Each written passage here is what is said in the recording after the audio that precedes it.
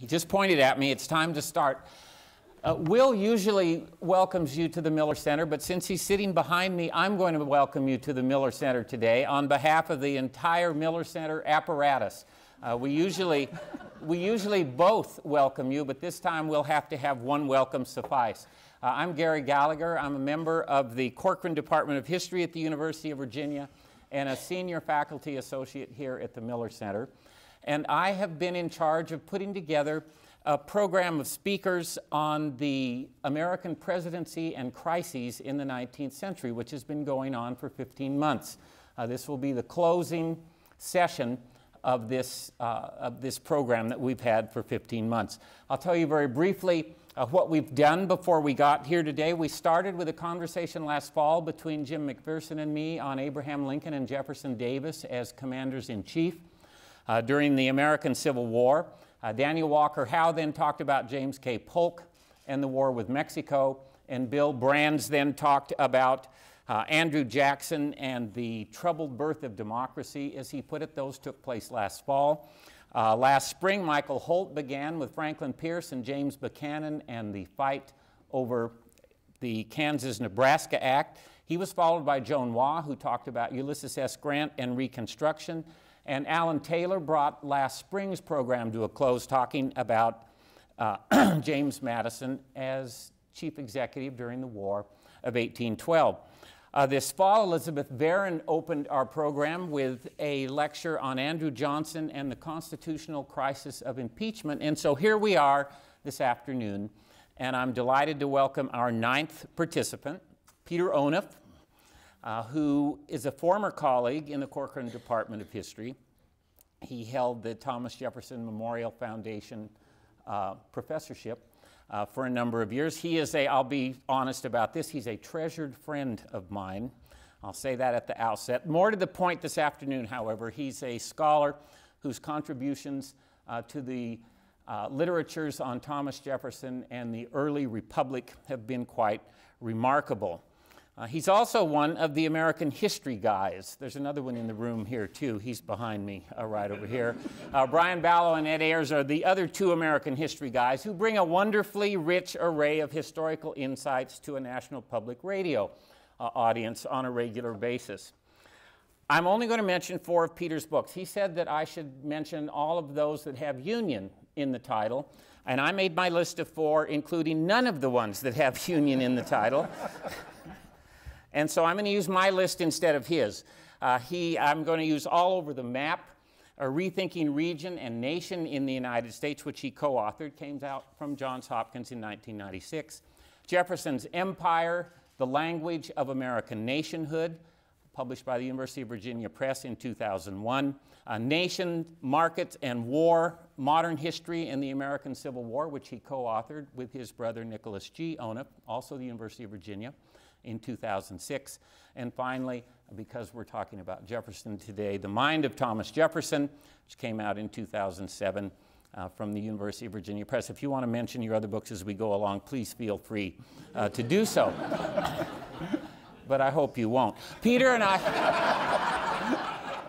Peter and I are going to bring the program to a close with a conversation similar to the one that Jim McPherson and I used to open this 15 month series. Our topic is Jefferson and the problem of union. So now I'll ask you to welcome Peter Onuf to the Miller Center.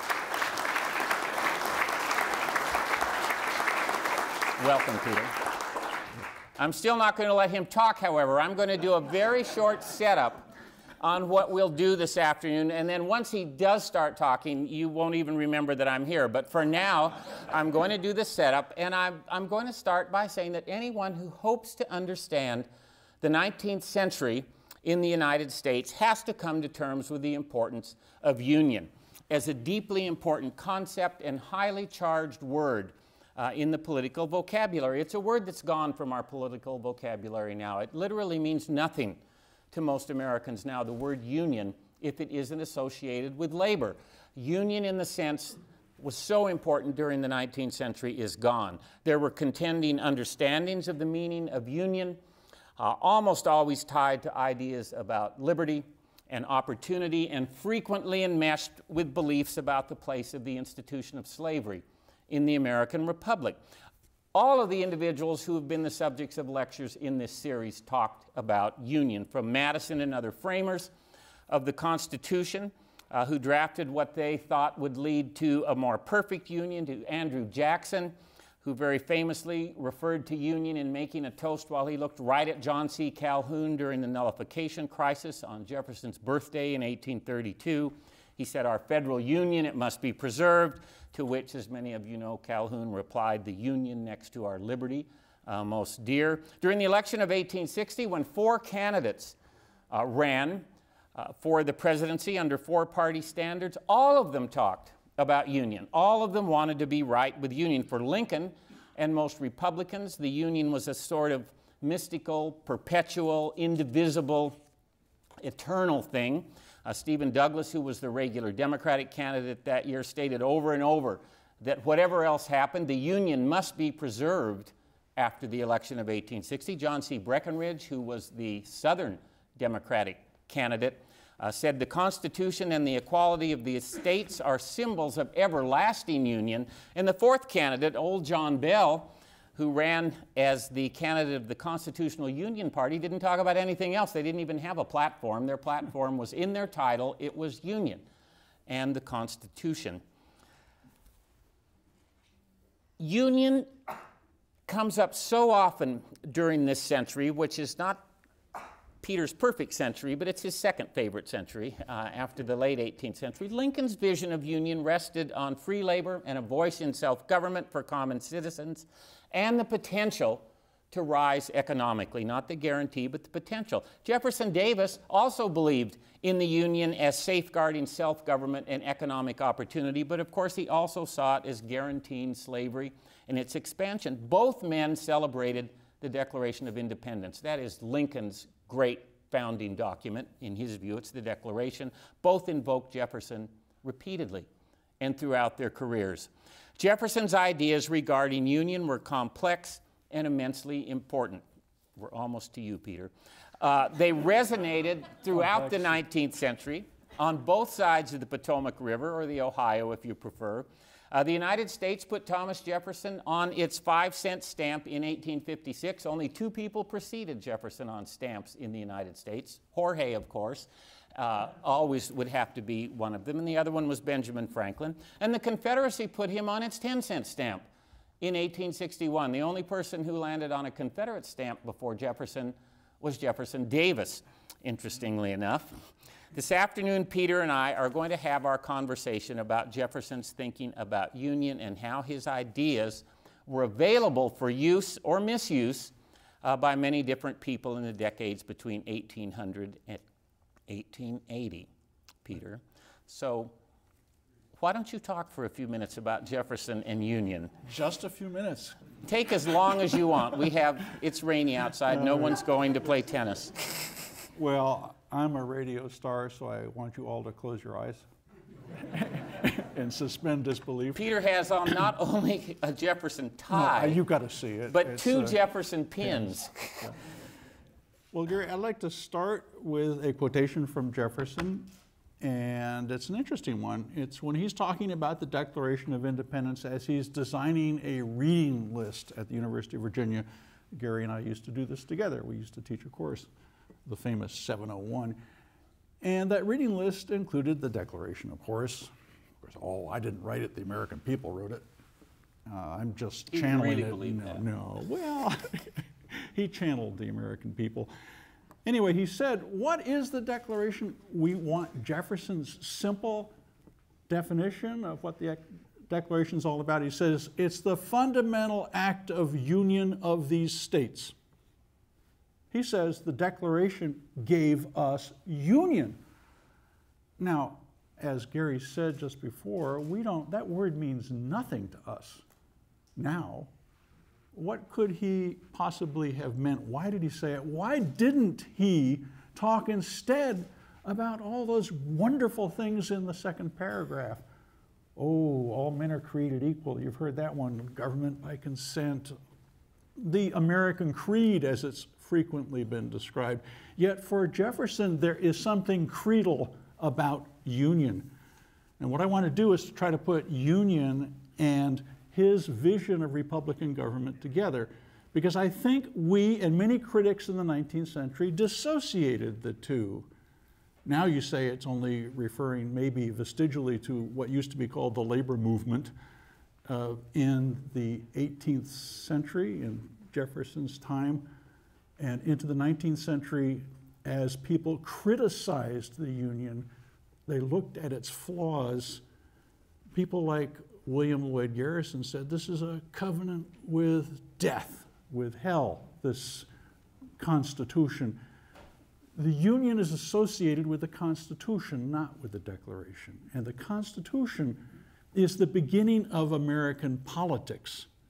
When we still had political life in this country, Americans celebrated the Constitution as this great reform caucus in action, as one author called it, where sensible, realistic statesmen got together and they crafted the only possible, miraculously, the only possible constitution that could embrace so many different states, so different labor systems, so much diversity. It was a compromise, in other words. As Garrison suggested, to have union, you had to compromise. Any good historian will tell you that's exactly the point of the union right now. That's not what Jefferson meant by union, though.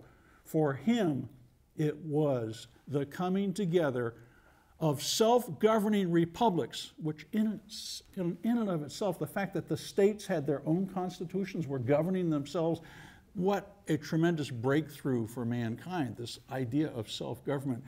And then showing their genius for union in the creation of new state governments, the first peoples in the modern world who governed themselves, then they built on that to create yet a more all embracing union. Union was part of the unfolding of the Republican vision there would be future unions. The union would expand. The union was dynamic. The union was process. The union was a movement toward a better world because what it demonstrated, we've talked about equality, we know how important that is, we're all equal. But what is the point of equality? It enables you to consent. You can't consent if you're not equal. And what do you consent to? You consent to that which enhances the welfare of mankind. Because suddenly the people are governing themselves. They're not under the heel of despots and tyrants. Now, self government. And I want to tell you this, my fellow Americans. I'm, I'm, getting worked up now, you can tell. Have a sip of water. I, I better. Americans, you're just going to have to wait a minute. Democratic government, hold on to your seats, is an engine for moral progress. I'm channeling Jefferson, I'm channeling the Enlightenment, the democratic Enlightenment. Once the people rule themselves, government will improve. We will no longer have coercive, despotic governments. We will be governing ourselves and where do we take our You can't cue? have a real union if there's any coercion That's involved. absolutely right. That's why this is foundational. It's a point we're going to come back to, I think, Gary, and that is maybe that sooner than you think. But go really? ahead. Everything happens. We may not be linear. We may not be linear here this afternoon. It may be sort of stream of consciousness. But go ahead for now. I'm going to make it quick. I want to get this So it's a process. Yeah, it's a process. Don't think of union as a fixed thing. It's not perfect. You heard what Madison said, what they said about the federal constitution. More perfect. Suggesting it's not most perfect, it's not perfect, it's getting better. Because we don't understand yet what nature's God enjoins, but we're figuring it out. I don't know if anybody out there is into natural religion and acknowledges nature's God unless you're a Unitarian. Though they don't talk about nature's God in Unitarian churches. I know I'm a lapsed Unitarian. Can you be a lapsed Unitarian? Check it out. this is what you get. But from what you're saying, let- me let me push you on something else right here. If this is a process and it's Mm-hmm. things are going toward, with any luck, something that's even better, did Jefferson think this could only be? I mean, the, the Union became very much an exceptionalist Right. concept by the mid 19th century. Yeah. Is it that way Well, there was, in Jefferson's mind, or could this happen Yeah, somewhere there else? was an exceptional dimension. You know, the city on the hill idea that we've heard from Ronald Reagan as he was channeling John Winthrop, that idea that the United States is an exemplary nation, the example suggests that others can follow, but follows the key word. They will become more enlightened in the fullness of time. What's remarkable about the American people is, and these are the people who made the revolution, is that they, they're all literate, mostly, except in places like Virginia. Just joking. I come from New England, I can't help it. Uh, they're largely literate. New England used to be important, didn't it?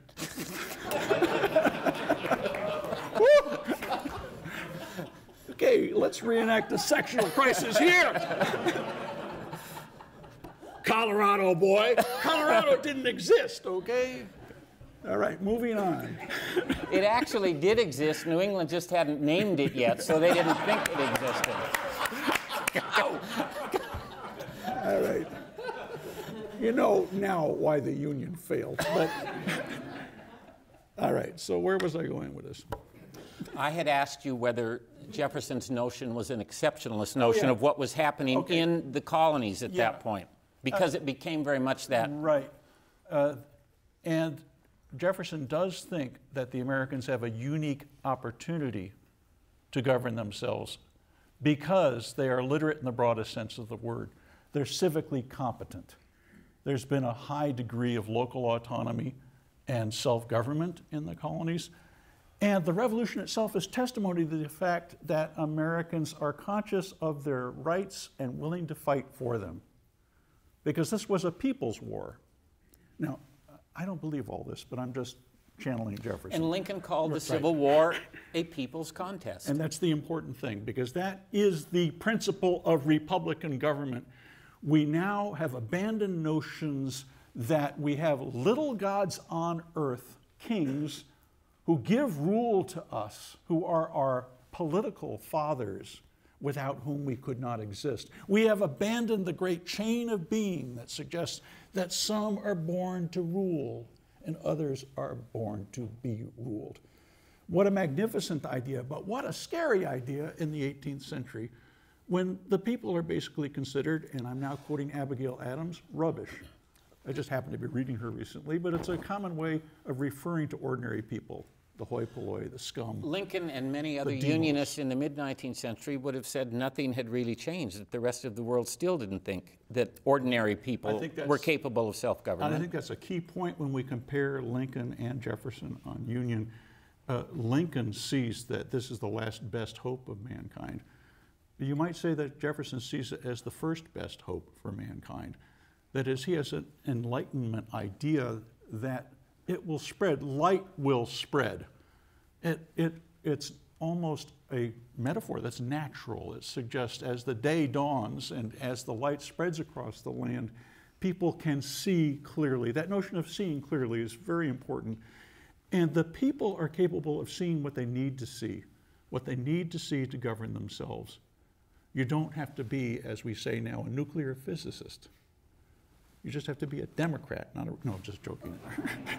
it was, this is, I'm sorry out there, yeah. The- the- what about the notion of the Union being perpetual? Yeah. That, that, that was so important by the mid century to people who uh, saw all of these qualities in Union that made Yeah. the United States exceptional. That's a great point, that, that point about perpetuity. The only thing that Jefferson thought should be perpetual were the fundamental principles or ideas on which the Union was based. And let me put it this way we're going to get into this, uh, this complicated development that's really important over time. I want to introduce the key to Jefferson's thinking about union, and that's federalism. Uh, and Jeffersonian federalism is not what we have today. You have to understand that his conception of political authority, legitimate political authority, begins in the family. Uh, we talk about family values today, but for Jefferson, the family was the, the foundational republic on which larger republics would be built. I think it's important to get this down because it's going to explain, I think, a lot of things that happen over the 19th century. For Jefferson, federalism culminating in the Union and perhaps in an expanding union, perhaps even a union of unions that will cover the world, begins literally at home. In that foundational union of man and wife, the creation of a family which the, is the incubator of Republican citizens in the next generation, families combined together for Jefferson had New England envy. Gary obviously doesn't. He wished Virginia had towns. What do we have in Virginia? What did we have in Virginia? Counties, in which local oligarchs self appointed themselves and gave rule through parish vestries, through county courts. The only representative institution was the House of Burgesses. And those elections, 90% of them weren't contested, and the ones that were contested were drunken brawls because that's the way you treated voters. It's a pretty sorry story, and Jefferson was familiar with this. He said, What we need are towns so that the families, the fathers, can get together.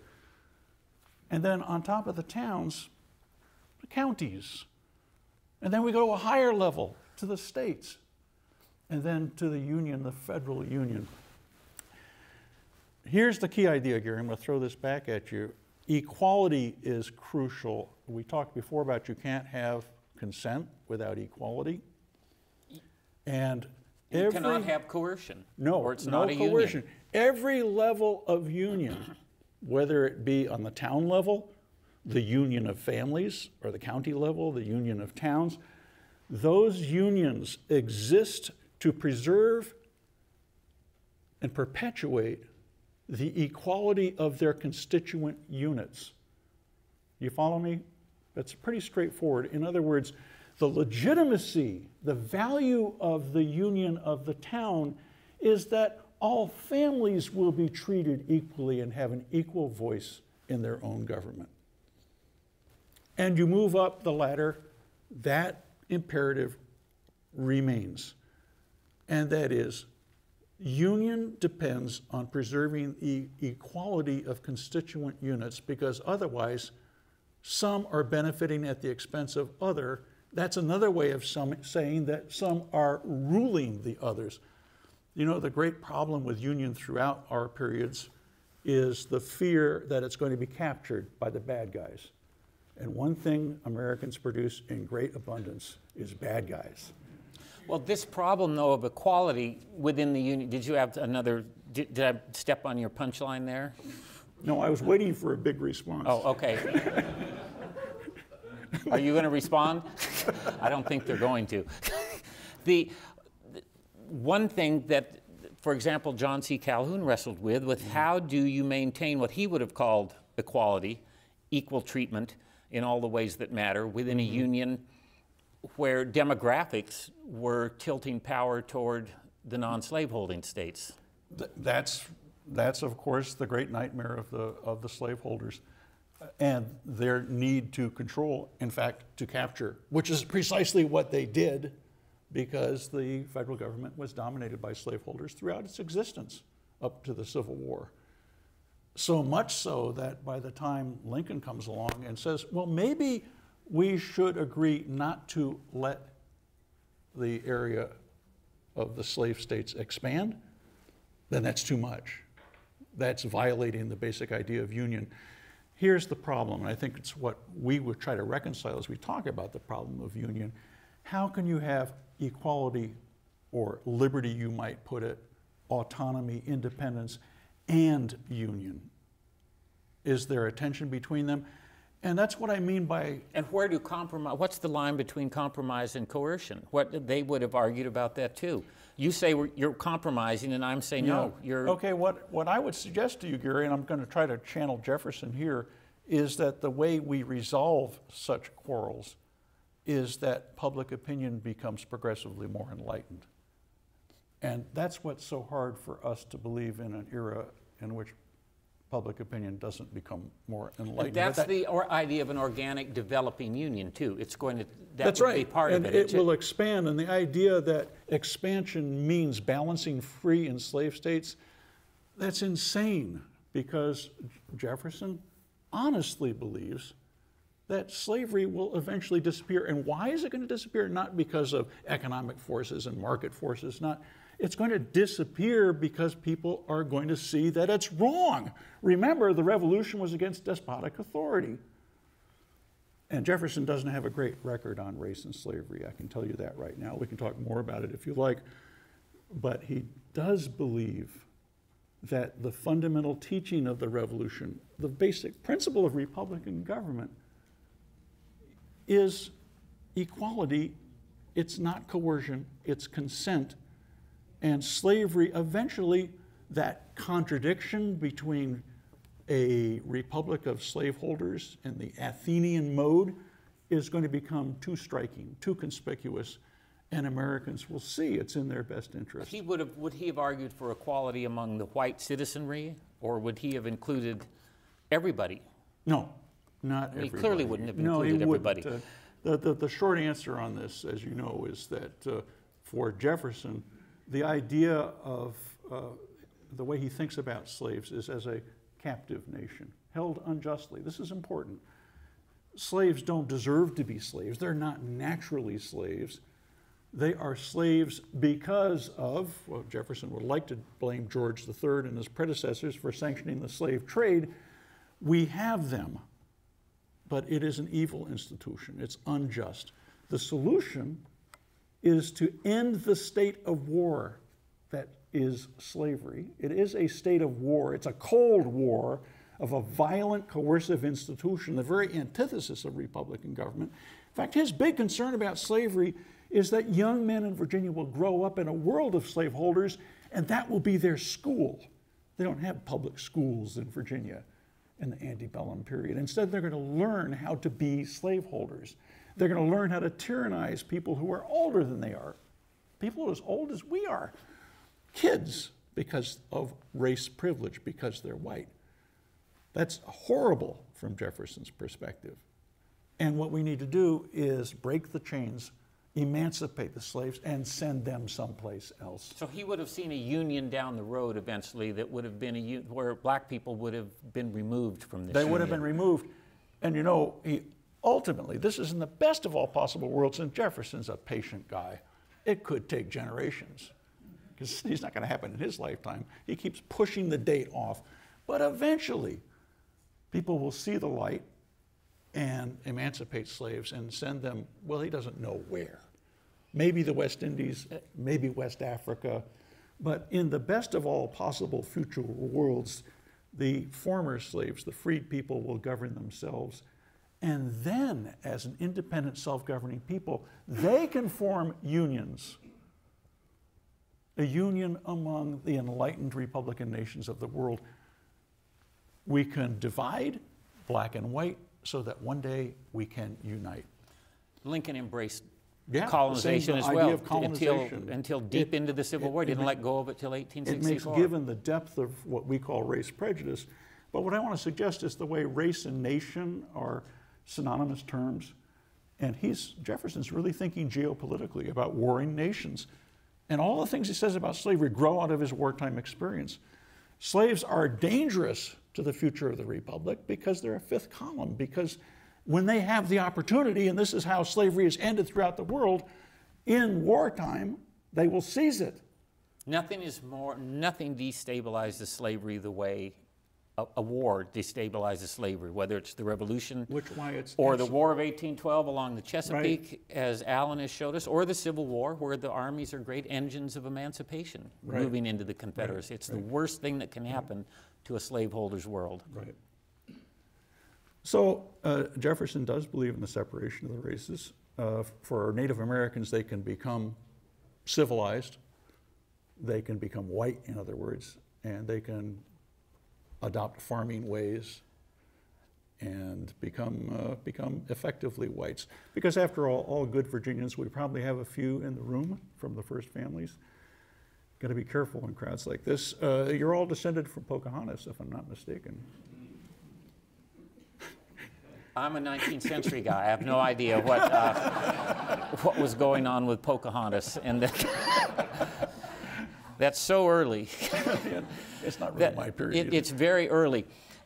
Many people, as we move through the 19th century, would use Thomas Jefferson and would, and would use him in the sectional debates right. to buttress arguments for state rights within right. a system, within a union that has become unbalanced as the central government is threatening rights of the constituent parts. And they look to the Virginia and Kentucky resolutions. How would, what would Jefferson say about that? Well, he wasn't in his grave yet during the Missouri controversy of 1819 but he did some turning over nonetheless, uh, because uh, when it looked like the Union would fall apart, I don't know if you all know about the Missouri controversy, it was whether or not Virg- uh, uh, Missouri would be admitted as a slave state to the Union. It ultimately was in tandem with the Free State of Maine, one of the great states of, of uh, our Union. Alan, shout out to you. Um, but this argument about the future of slavery was one that looked like it was creating a line of separation between those states with slaves and the so called free states. And that fear of the capture of the federal government was intense for Jefferson. Jefferson's position was, in effect, oh, give us time and we'll deal with our domestic keyword, domestic institution. It's none of your business. And eventually we'll deal with it. But when you threaten to destroy the Union, which is what he thinks the restrictionists in the Missouri controversy, that is, Northern Republicans, people in Jefferson's own party, who, and former Federalists who are pushing for a limit on slavery. And of course, that's the trigger issue throughout the antebellum decades, a limit on the expansion of slavery. Those people mean to seize power, the restrictionists, and subject the southern states to a colonial provincial status. They will be creatures of a strong federal government. Whenever that happens, people start talking about that's the return of the British Empire. This is evil, a dominant metropolis uh, destroying our liberties. You can see from Jefferson's logic why he would be so acutely sensitive to threats to the equal status of the southern states. Because what he says to the restrictionists in the Missouri controversy is you're telling us that we don't have Republican governments, that we're not perfect republics because we have slaves. Well, most states, even the North, still have slaves. But that your commitment to the institution of slavery makes you less than a republic. And the guarantee clause of the Constitution, according to the restrictionist, Article 4, Section 3, guarantees Republican government to all the states. And so now you're saying all states are not created equal. There are the real republics, that is, the northern states that are getting rid of slavery, and then there are these slave holding hybrids. And hybrids weren't a good thing in those days in the, in the, in the, in the South. So that, that notion of equality is really crucial. What I want to suggest, Gary, and I talk about that federalism business, look forward and outward with Jefferson from the founding of the Republic, and federalism looks like the secret. It's going to unfold. The whole world will one day, one day be embraced by this Republican vision. It's the means by which we have it both ways, which is what all good Americans want. But it only want. works if you really find a balance between the center and the localities. Right. And you all ultimately have to share the same set of beliefs. And this may be the ultimate naivete of the Enlightenment project that I'll tell you what the key beliefs are. They are equality, consent, that, that those ideas that we still cherish. We all agree on that. Remember, it's the Declaration we're celebrating, not the Constitution. It's the Declaration that Jefferson Davis referred to when he said all the southern states are doing is asserting their right to self determination. That's right. In 1860 61. Yeah, he's drawing and, on, on Jefferson's inspiration. There's no question about that. But what I would say to you, Gary, is that uh, the collapse of the Union, I talked about Jefferson turning over prematurely in his not yet grave. Um, if the Union splits, then the revolution was pointless. Then the United States is pointless. And I'll tell you why. Because as soon as you break up the Union, well, what's to stop the fragmentation from continuing? Well, it will continue. It will that's continue. What, that's what Lincoln would have What said. do but- you get when you get a disunited states? You take union for granted now. We don't divide along sectional lines anymore. Well, what we do actually, but on a micro level, I've been taught there are a lot of blue people in the red states, and they're really blue these days. I don't think many people actually believe in secession anymore. No, Uh, I think secession's not a problem. but here's the, here's the dilemma it's the collective security problem. In an anarchy, which is the technical word, an anarchy of uh, independent polities, at whatever level we achieve some kind of temporary equilibrium, those states are in a state of nature with regard to each other, which means a state of war. That's what a state of nature is. They may not be fighting, but one day they will during the period of the founding in the 1780s, this was the great argument. You need to strengthen the Union and make it more perfect, lest the United States become disunited and become an image of Europe. Why did we even bother to try to form a new nation if the best we can do is create a knockoff version of Europe? Pretty pathetic because we'll be at war with each other. And guess what happens when there's war, my fellow Republicans, with a small r? When there's war, you have to exercise power. It ex- exaggerates executive power, military power. You get military industrial complexes. Nations at war are nations that have a, a lot of problems with liberty because all you liberty lovers out there are a bunch of subversive terrorists. We have to suppress you. It's wartime, okay? You follow me? So you need to preserve. I'm trying to keep up. Yes, I am. Right.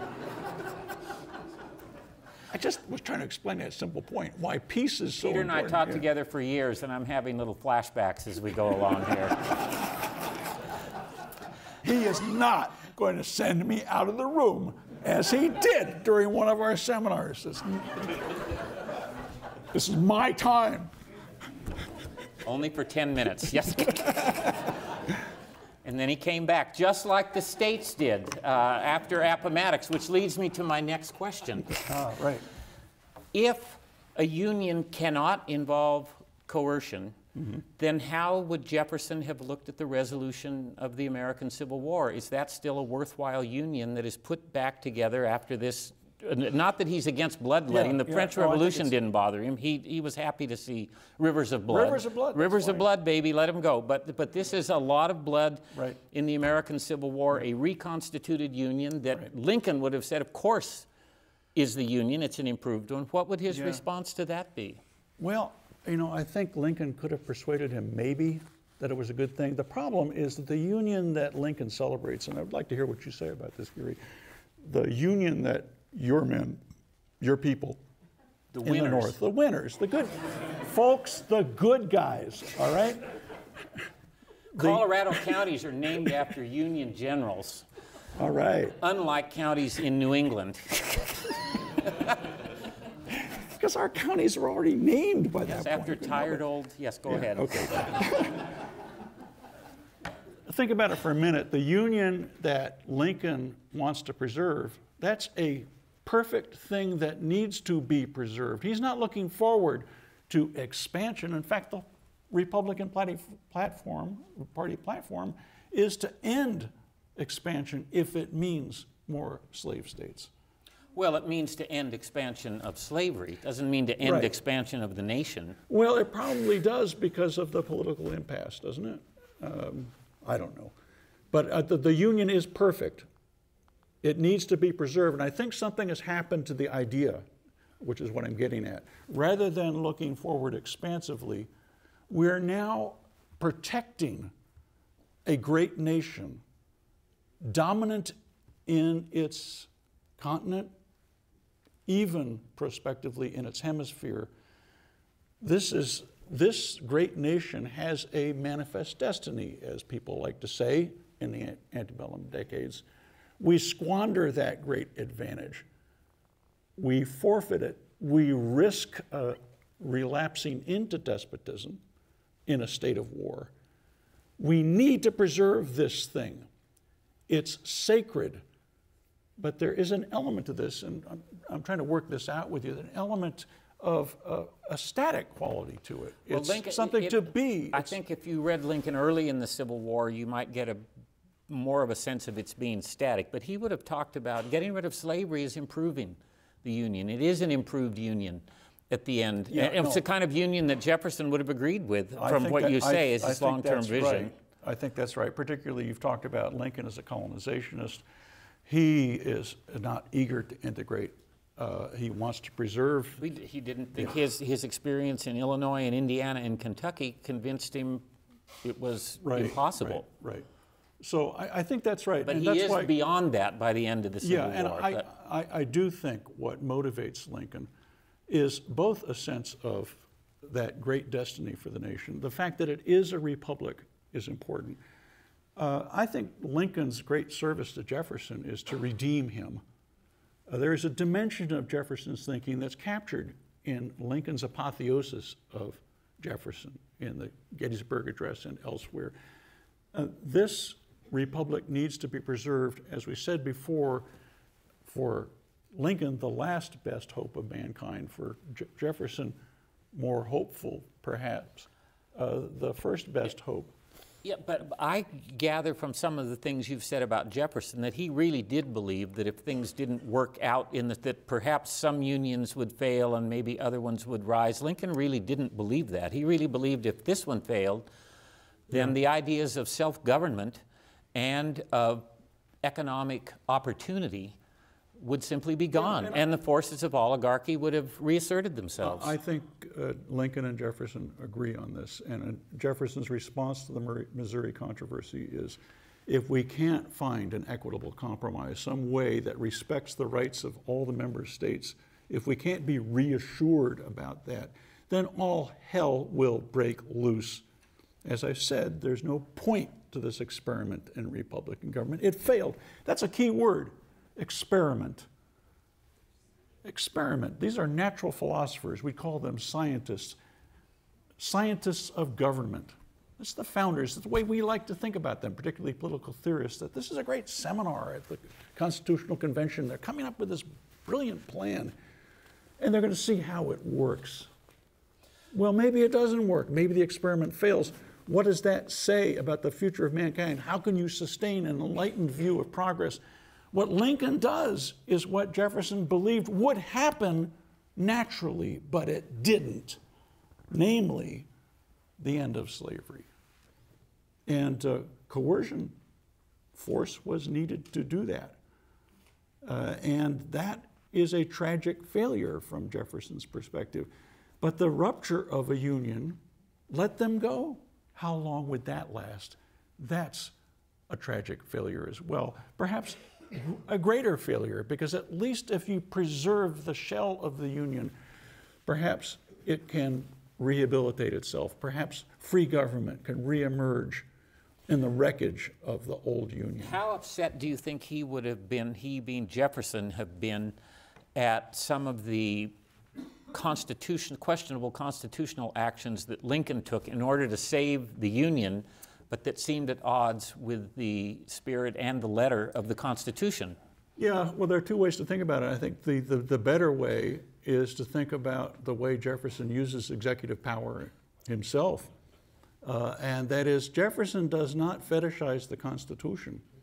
He doesn't say that my hands are bound because of the Constitution, because there is something greater than the Constitution at stake and that is the very existence of the United States of America.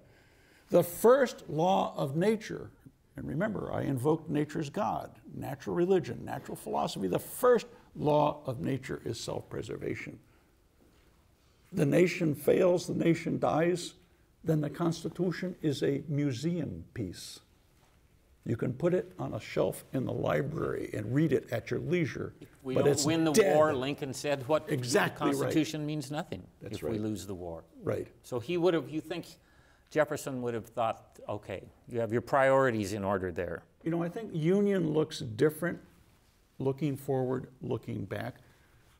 So does the idea of the nation, and I think it's implicit in Jefferson's thinking about the American people as being dedicated to liberty and having Does, this. link, does, does Jefferson link union and nation in his mind? By the time of the Civil War, they're deployed interchangeably by many people who love the nation, country, United States, union, often in the same Yeah. paragraph. They'll drop all of them in. That's, that's, it's a wonderful question. It's hard to answer because I think the idea of the nation is implicit in the very notion of popular sovereignty and self-determination. That is an idea of a of the people as a kind of organic whole, a great family of families. I talked about the importance of family before. But by the time we get to Lincoln at mid century and beyond. This is the great period of romantic nationalism, and there's something about the nation as its organic whole that supersedes, subsumes, and subsumes individuals. It subsumes everything. Your identity is a national identity, it trumps everything else. Well, This, for some people. for some people. Or for You know, many I people, And it's, uh, we don't want to exaggerate it because Lincoln is not about to abolish states, uh, though you'd love to abolish those southern states. Uh, he believes in the federal distribution of authority. Uh, he believes in the, the compromises that were worked out in the Constitution. All that's important to him. But the most important thing is the dedication to that shared principle, commitment to Republican government that makes us one people. Jefferson would be reluctant to make that final move toward that great superhuman thing, the nation.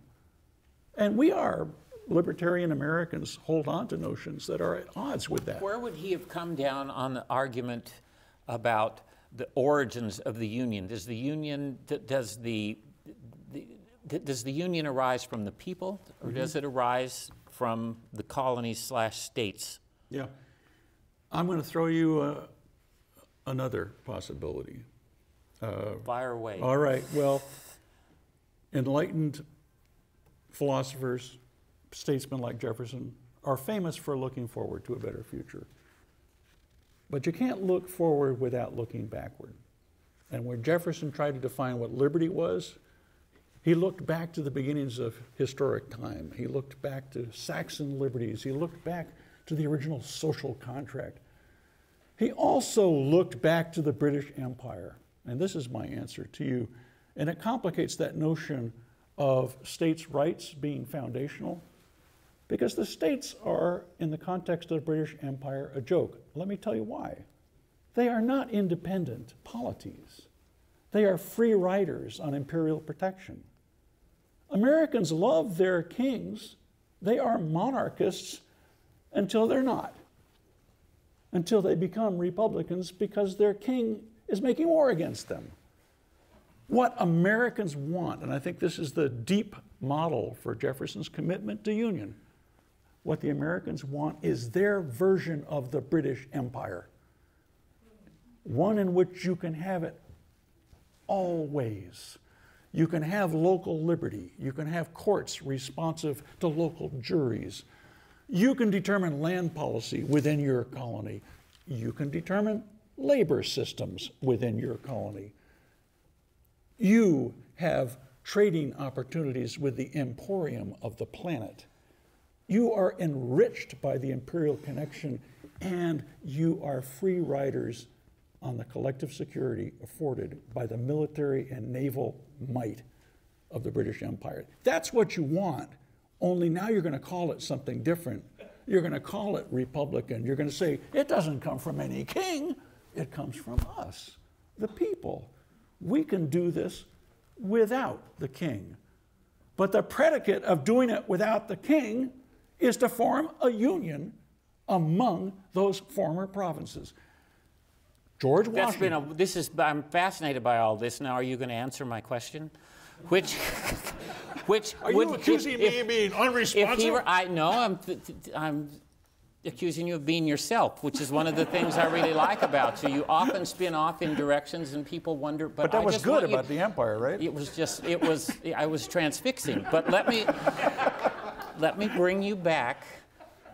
If we put it to Mr. Jefferson, whether the Union derived from the people or from the states, put it within those terms. We're not, we're not in the empire anymore. We've already settled Okay, that. uh, that, so- that, that, I think, is the template, and you'll grant that. I've already granted it. Oh, Okay.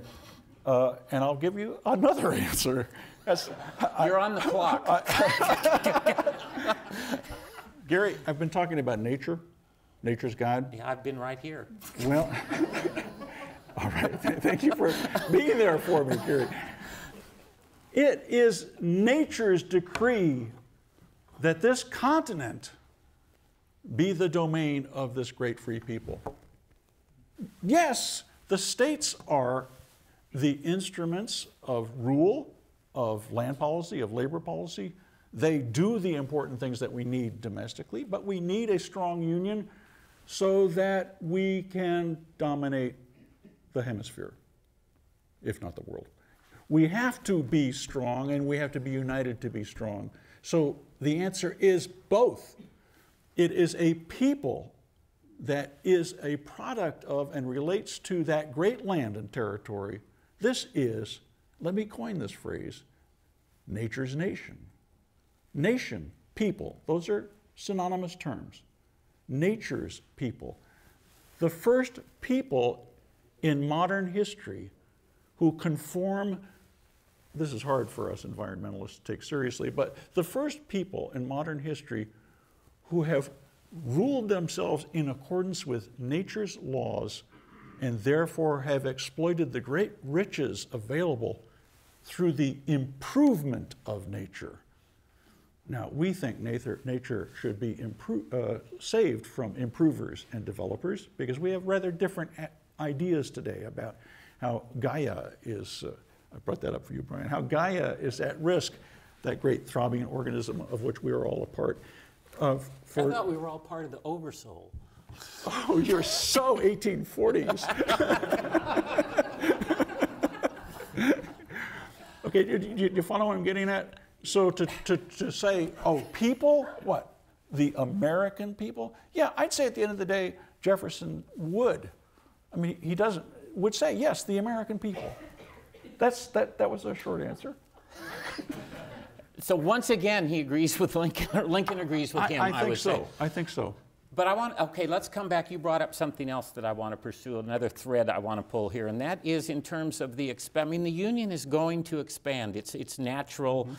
Future would be expansionist. Right. What would Jefferson? What, did Jefferson believe that that peoples who did not look like Western Europeans or Englishmen could be brought in as as really functioning parts of the union? What would he have thought of incorporating?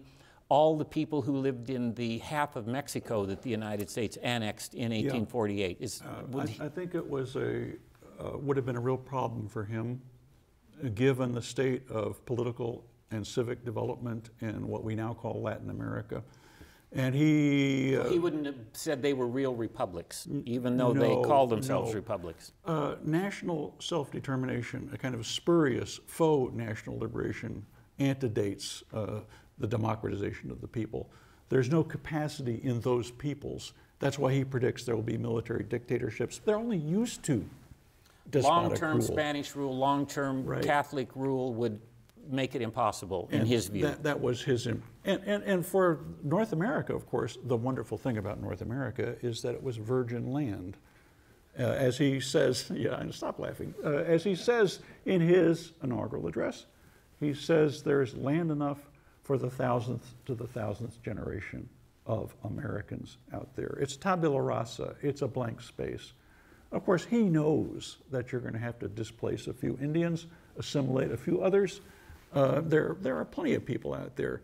But in his vision, there is this inexorable progress of civilization against barbarism and savagery, submitting, subjecting the land to higher use, yielding more from it. What's wrong with Native American societies is they don't reproduce enough. They don't reproduce enough because Native men aristocrats spend all their time hunting and abusing their women. Uh, so they'll never move past that static, stable point of barbarism. The future is in the progress of civilization. This is what he embraces and moving across the territory. He doesn't, he's not seized with the kind of collective guilt that comes with the Red Legend in America, the condemnation of the expropriation of Indian lands and the genocide and destruction of native cultures. That doesn't bother enlightened people. So he would have he would have accepted territorial expansion into these kinds of places, but then would have pushed for some kind of relocation of the populations? Well, that's what happened, and of course, Andrew Jackson implements. I don't just mean in, I'm, I'm speaking in terms of Right. the acquisitions from Mexico Yeah, and yeah. perhaps other acqui- I think he would say, and this is uh, to give Jefferson his due, he doesn't think that the other peoples of the world, less educated, less developed, maybe not with our exceptional qualities, thinking of Americans as being really with the, the British, and after all, this, these are this is British America. He does think that the rest of the world one day could catch up. How it would do so, my guess is that he would suggest the emergence over time of confederations in all the populous areas of the world. The progress of Republican government would be fitting. I mean, he, he survived long enough, lived long To enough take a to very see long time. take a long thought time. even for the French common Yeah. people, he thought they were 200 years behind the That's, common. that was his estimate. He said we got we're six years behind the uh, cognoscenti in France, but as soon as they publish their books and send them across the ocean, we'll catch up. Uh, but our common people, and this is a vote for democracy, my friends. Our common people are 200 years ahead of their French counterparts. 200 years, which Towards to be Republican. yeah, well, they Yeah. can be Republicans. Jefferson was not optimistic that the French could create a republic, and it seems that they had trouble. Well, they actually created how many republics? Five? so uh, he, Jefferson is both a universalist and an exceptionalist. That's another thing that we have to put into our, uh, another apparent paradox or contradiction we have to resolve. This is a people uniquely capable of governing themselves. Now, in doing so, they demonstrate eternal truths about human nature and human potential that will be fulfilled in the fullness of time across the world. Liz Varon talked about Andrew Johnson and the crisis of constitutionalism and impeachment. Andrew Johnson called himself a Jeffersonian. He said that he loved Jeffersonian theory about government, and the bedrock of that was a very small central government, non intrusive, uh, just did the minimum uh, that you would want that kind of government uh, to do. Yeah. And he's used by lots of people who take that view. Yeah. He- Well, he's the that's his union. His Yeah. union is a union. Well, the idea, Gary, take consent to its logical extreme. And what does it mean? It means that in some ways, enlightened people spontaneously form unions. Uh, maybe to better understand it, we have to think about the Scottish Enlightenment moral philosophy. We have to think about moral sense, about the new account of human nature that comes out of the Scottish Enlightenment, which is remarkably democratic in its implications. That is, all of us have that kind of moral sense. Now, that's crucial for politics, for understanding society itself, because what it means is that we do not have to be ordered, governed, and constrained to do the right thing. Maybe the epitome of this enlightenment hope for mankind, and that's kind of a joke now, but the epitome of it is the very idea of a market, of transactions among equals to which all consent that are reciprocally beneficial. When you think about the purity, and economists can't get over the purity of their account of the market, it's a beautiful thing to behold. When has it ever really existed in all its beauty? Well, it, no, it doesn't. Only uh, it's, a, it's a fugitive thing, it's an aspiration, it's a hope. But that idea that we could be drawn together, not out of sordid self interest. This is where Mandeville and those uh, e- uh, economists uh, vulgarize the best of Adam Smith's moral philosophy. We come together to achieve higher things, better things, not only for ourselves, because the first coming together is to form the family for others, for those people who, uh, who we raise, our children. So this, I, and that I think is crucial. For Jefferson is obsessed with generations, with the progress of generations.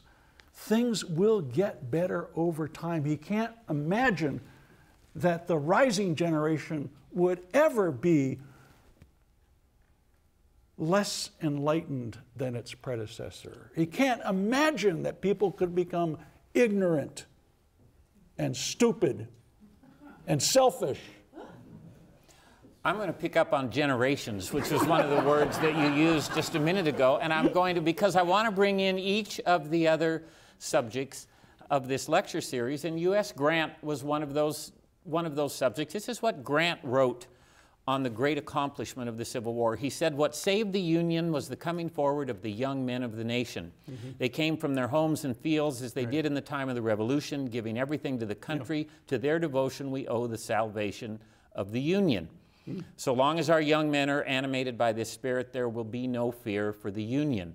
Where did, where did Jefferson put the citizen soldiers of the Revolution in his calculus oh, of credit for the? They're centrally important. Uh, the, the idea of the citizen soldier is very much a Jeffersonian coinage. Uh, of course, he didn't actually fight the war. He might not have thought about citizen soldiers in such grandiose terms if he'd been involved in the war more directly.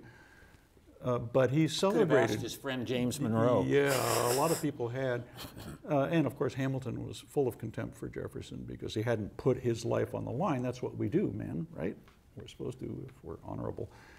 Um, but Jefferson, in his uh, inaugural, inaugural address, which I think is the central document for understanding this political philosophy, uh, talks about how the United States has, and this is important for you libertarians, he says the United States has the strongest government on earth, which is a remarkable thing for him to say at a time when there are 2,000 people in the Army and uh, there's no uh, great uh, uh, government inside or out of sight, doesn't exist. Uh, but he thinks it has enormous strength. And what he's talking about, again, so much of the Enlightenment vision has to do with potential, what will happen. It's the fact that the revolution was a great moment of mobilization. I think this is what Grant is evoking. Yeah, absolutely. Uh, a great mobilization of, of, the people. And there is nothing stronger, nothing more powerful than a united people at war to preserve the things that matter most to them. That would be their families. That's why apple pie, motherhood, all those things, all those images of why we fight, those homely images, that's what makes us powerful. That's the vision that Jefferson conjures up and that Grant uh, echoes. And uh, it's also, you could say, the technology of mobilization in the modern world, getting people to die for you, uh, mastered by the French, perhaps, in the first great levee en masse, but is the definition of modern war. We now have the social technology to get people out to do these things, and if we don't need to kill or waste our own people's lives, we can do it remotely with drones and things like that. That great force, though, comes from the people. But the force Grant is talking about is not a coerced force. He's talking about, and, and the majority it's not coerced, but it coerces. That's correct, but it's That's not power. coerced. But it is not coerced. There's a draft later in the war. The majority of soldiers right. were volunteers, yes. and those, and he's tying them to the revolution. Yeah. Yeah. and putting them at the center of things. And I think that's right. And that's an interesting thing that at the core of this enduring idea of national power and greatness and liberty it's people who will sacrifice everything. And then not be soldiers anymore. That's, That's the key. Right. They're not really soldiers. Right. They're not. And they disappear because a permanent military industrial is a problem. Because it can be, to repeat this theme again, captured. If it's a technology, a tool, an instrument that can be used by whoever has control of the government, then we're all at risk. And I think that's, of course, what we live with in the modern world, is the capacity is now there, and the capacity is not that the young men will rise up like Cincinnatus, take their swords, and go to war. The capacity now is much greater than that, and it doesn't rely, well, even on our consent, much less on our active participation. So, that image of the citizen soldier is a powerful one. We have to ask, and I think many Americans today do ask, does it describe in any meaningful way who we are as a people today? Well, this citizen soldiery was very different from, I mean, we have a, a professional Right. military now. Yeah. We, and, and that's the sort of antithesis of what Grant's talking about here and what It is. Jefferson would have been you know, talking so about in some ways, uh, Lincoln and may have preserved and redeemed Jefferson's Union by means that Jefferson would have abhorred and seen as a contradiction in terms. Uh, but Grant gives us this notion of a people's war, Lincoln's idea as well. They're on board, yeah. Uh, and uh, if the people need to fight that war, I think this is the important thing. Jefferson was perfectly willing to fight wars. You had to know who your enemies were. The most horrifying thing is that your enemies are your countrymen. And that was the, that was the thing that so many Americans had so much difficulty with. And of course, then they. Well, he'd been through, he, that was his Yes, war. That's right. You're fighting your countrymen. Right. That- That's the Well, revolution, and that But is of course, this. the revolution, they were fighting their countrymen as well. That's It's what I mean. It's the That's same. It's the same. They're both civil wars. But you need then to identify that thing against which you're fighting, whether it's loyalists, uh, these benighted uh, Anglo Americans who wouldn't give up on their king, who were cowards, who shirked their duty and responsibility, or at least in the North for a while, you could demonize the slaveholders and the slaveocracy for uh, forcing this war on a liberty loving people. The War of 1812, you could demonize New England. You I- we, we said we were going to leave 20 minutes for questions at the end. I have this great digital clock over here. It's 438.023. And so I think we will, unless you have a parting thought that you want to. No, too many parting thoughts. Okay, they may come up in the course of questions, but if someone has, and if you don't have any questions, we'll keep talking. We're perfectly capable of filling however much time we have. But if you have a question, raise your hand and someone will appear with a microphone and put it in front of you. And, and this is really problematical, but we, Come on, Mike, you got to ask Wait. the first question. gra- there's one right behind, there's one right behind you, Stephanie. Oh, I have so many questions. But, uh, uh, Would you identify yourself, uh, please? yeah, my name is uh, Michael Holt. I'm an emeritus uh, professor in the history department, and I've been in this speakers series. Um, uh, the, the, the parallel you were trying to draw between Lincoln and Jefferson uh, seems to me off base in this respect, or maybe it's because you didn't mention uh, mentioned it at all in your your presentation of Jefferson's definition of republicanism. For Lincoln and for Republicans of the 1850s, the basic principle of republicanism was the majority rules and the minority has to acquiesce in that majority rule. This is what Lincoln said in his message mm-hmm. to Congress. You cannot just quit if you lose an election. What did Jefferson think about the idea of majority rule, Oh, which runs mother- against yeah. equality? That's a great question, Mike. It's the mother principle of republicanism. The question and the, the devil is in the details. Majority of whom? And if it's a national majority to uh, aggregated to bring in uh, Lincoln to the presidency, and it is interpreted as uh, a move that's going to lead to the loss of liberty or rights on the state level. Those majorities on the state level will no longer be capable of enjoying and exercising their rights.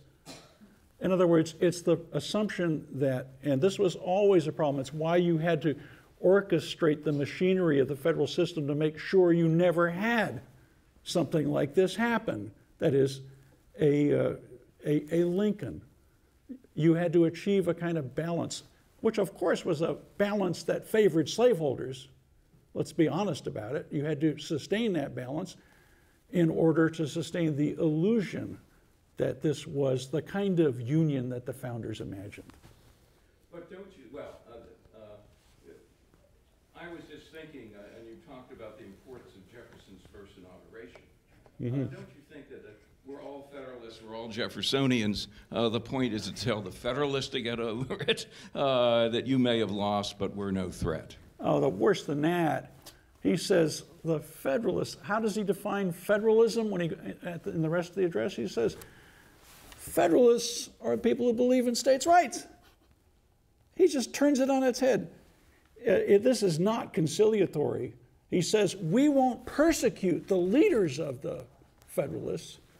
We'll just make laughing stocks out of them because they will not. They'll lose their support. So, uh, majority rule is foundational, uh, no question about it.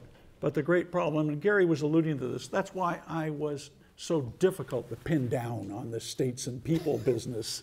That's the problem in a nutshell. Uh, Jefferson wants it both ways majority rule on all levels.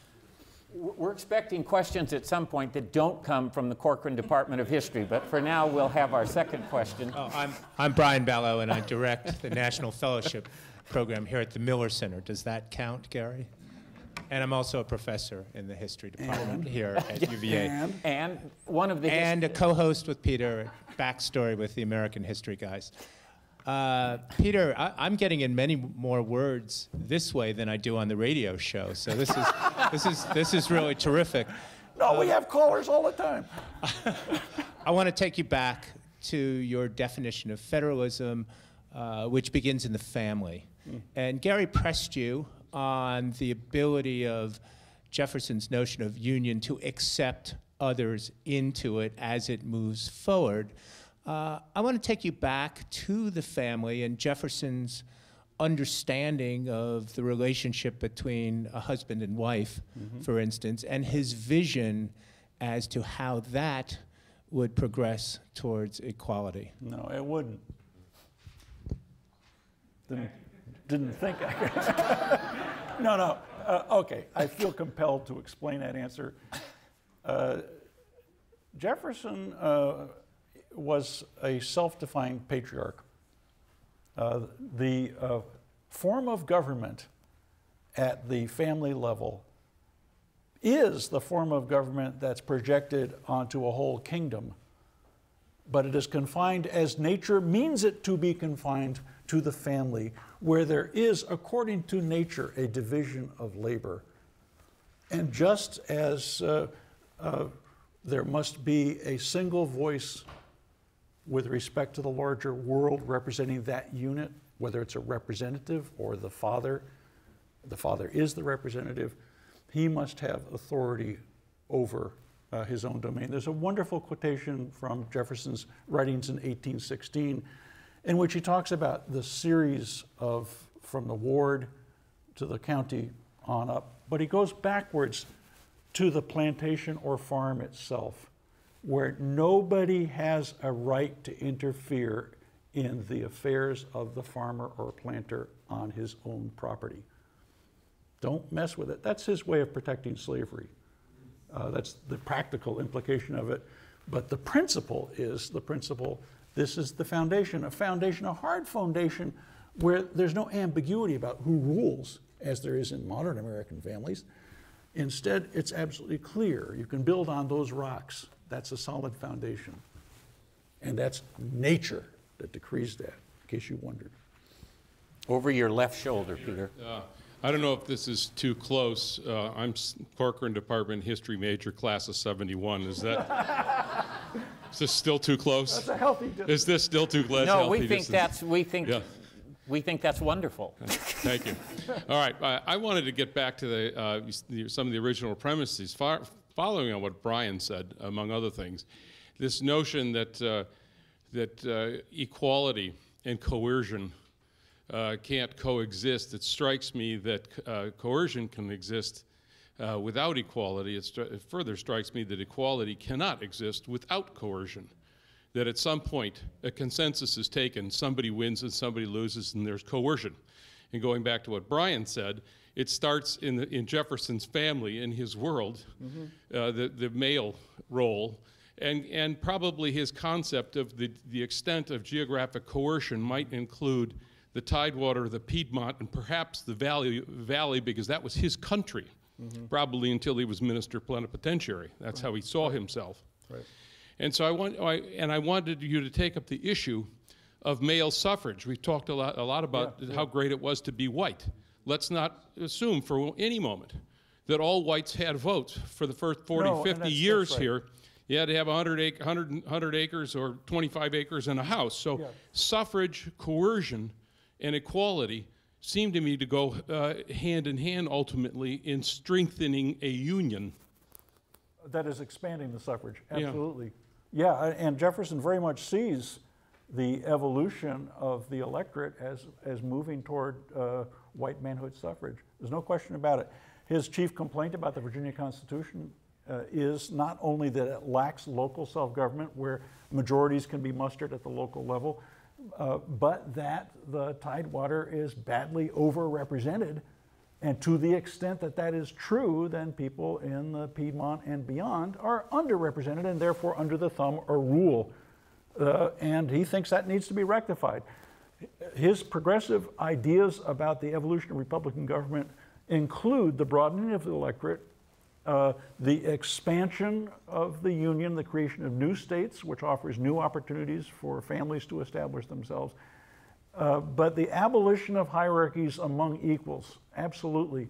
And that a class of whites would be excluded from the suffrage, white males, uh, is intolerable for him. So it's not as if you can freeze frame that moment of 1776, except to the extent that that's the spontaneous outpouring of all men, many of whom couldn't vote, to fight for their The liberty. convention of uh, Right. 1829, 1830 in Virginia. Thank you.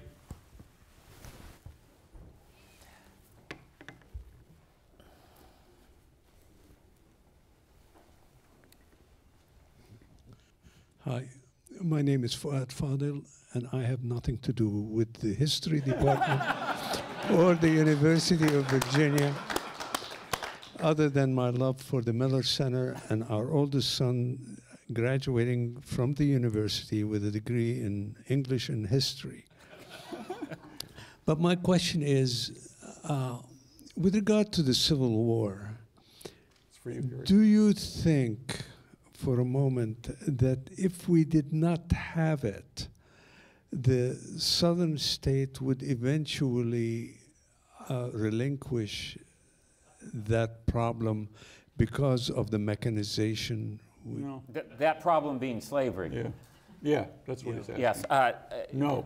We, I think we would have had the ignominious distinction of being the last Western nation to get rid of slavery. We would have been after Spanish Brazil, Cuba, we would have been after Brazil because it was thriving, was making the transition from cash crop agriculture into all other elements of the Yeah. economy by the mid 19th century. It was, uh, it used to be a sort of comforting notion that slavery was on its way out, but it was not on You its way out. You can tell by the price of slaves on the eve of the Civil War. And one of the problems was uh, would Southerners be able to aspire to slave ownership? Uh, and the price of slaves is the most sensitive indicator of the value. It's literally value. Uh, I think it's important to do uh, Lincoln his credit and the, his fellow Unionists with this vision of Republican government. It's not that it was normative in the 19th century. In fact, you could say things were moving in the other direction. You could say it because they were. They were. They, they But were not- moving in the You feel bad about the 20th century for which many of you are partially responsible. The really nasty century is the 19th century. And uh, yeah. And, and the, the big bad guys are the Brits. Right, Adrian? We, we talked about But there, that. there- I mean, one measure, one measure of the, the 1860 census is our wonderful friend that tells us all kinds of things about the United States in 1860. And That census tells us that wealth in slaves was about $3 billion. Wealth in all manufacturing, all railroads put together in the United States was $2.2 billion in 1860. The, the, the amount of wealth controlled by slaveholders was unbelievably large in 1860. And the two wealthiest states per capita in 1860 were South Carolina and Mississippi, which had in common they were the only states with an absolute majority of enslaved people in 1860. I mean, their slavery was not going anywhere Yeah, it was, in the it United was States. It's- modernizing, and they, they, uh, you know, the insurance companies have been apologizing, travelers and others, uh, for having been implicated in the institution of slavery. Well, they were selling life insurance to slaveholders to insure their very valuable property. All the, the Wall Street people would have been all over this, you know. Uh, This is not a, this, is this goes way back. And the 19th century gives us, uh, uh, is moving toward racial hierarchy, toward a conception of what Kipling called white man's burden. That's in the 1890s, he coins that phrase. Uh, and that is this notion that the uh, civilized uh, Nordic types uh, needed to exercise a paternal uh, rule over darker skinned people. The idea of natural rights, maybe this is the key thing and the key point about Lincoln and Jefferson. An idea that comes out of the Enlightenment and nearly dies at the hands of people like Jeremy Bentham and others who say natural rights, nonsense upon stilts. It's all power, it's all positive, it's all what you can do and what you can enforce. That force you're talking about, law is only good if you can back it up. And uh, th- this, is, uh, this is not a, a happy time. Think where we have the race problem in America as Americans understand it. What are you going to do with all these black people? You got the labor problem in Britain. What do you do with all these uh, massive numbers of uh, Irish people who are out of work? The misery of Manchester. Uh, but of course, hard thinking, realistic 19th century progressive types say that's just the price of the progress of civilization, which they had their own ways of measuring. It's really a pretty horrible century, and I, I guess the 20th century is bad too, I know. I But- just, I'm not going to take much more of this attacking the 19th century. I about reached my limit. You're, uh, you're going to make a plea. Natural rights. You're going to make a plea for the 18th century, for God's sake. I'm saying that's the claim you can make through No. Lincoln is that you kept that idea alive of Republican government and natural rights. All men are created equal. That's nothing to us now. We just No, I don't when- know what we make of it, but what- it meant a lot. When you to lean Lincoln. toward me and point, should I pay extra no, I was attention? pointing I was pointing over here. This guy over there. Here's one more question right here, and then I think we will have reached our ending point. Martha Williams, history major, but not here in New England. All right. Okay, now my question is changing the subject. I learned something new today. I wasn't aware that Jefferson had, had such a keen sensitivity to the fact that New England had towns and Yeah, less so down here. definitely. He had town okay. envy. Well, I want you to talk, uh, uh, since we have such an urban rural divide in our country now, Yeah. I'd like you to address the idea of not only New England towns, but in, the, in your day that you're talking about, serious urban culture. Click Quakerly Philadelphia, big old Right, Boston, right. and most dynamic of all, the Dutch influence in New York Right. and the highly tolerant society. Yep. It's not as prevalent in the rural areas, and I'd like you to see what you can well, do about actually, that. um, uh, it's, um, there's a lot of pathos in Jefferson's beliefs in uh, progress, moral progress, economic development. Uh, there's a nice exchange he has with his granddaughter Ellen, who travels to New England, as Billy knows, and uh, uh, retraces a, a route that her grandfather had taken uh, 30 years earlier in the company of James Madison when uh, northern New England was still pretty much a wilderness, underdeveloped. Uh, Ellen went to these same areas and found it absolutely remarkable. Uh, the roads were good, the hotels were good, the, uh, there was a, a, a church in every town, there were schools. Uh, it was the very image of the Republican society fulfilled. And the contrast with Jefferson's Virginia at that moment, they commented on this. When you approached Monticello, it was as if you had to make it through these scruffy woods, uh, through a kind of wilderness that wasn't clear whether it had reverted to a, uh, an overgrown area around Monticello. Um, you, you could look from Monticello, you would see, you would see many farms, but you wouldn't see the kind of uh, landscape, a Republican landscape.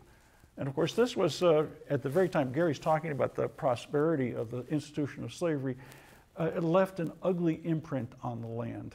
And Virginia itself at this period was probably best at producing slaves, better at producing slaves than anything else, uh, because of there was such a voracious appetite for slaves to the, further to the south. This was not an image of Republican progress. And yes, Jefferson did understand and, and, and uh, uh, see this kind of urbanity. It's not big cities. Big cities are bad. They're sick, nasty places to go to. You'll die. They're unhealthy but a kind of uh, a, a, a, civic landscape. Uh, in many ways, New England was perfect except for the New Englanders. That's right. and on that note, I'd like to thank you all very much for coming out on a nasty day. You all had a handout on your seats that tells you what's coming up in the 20th century a version of what we've been doing in the 19th century here. I hope you will attend all of those and remain good friends of the Miller Center and travel home safely. Thanks for coming. Thank you, Peter.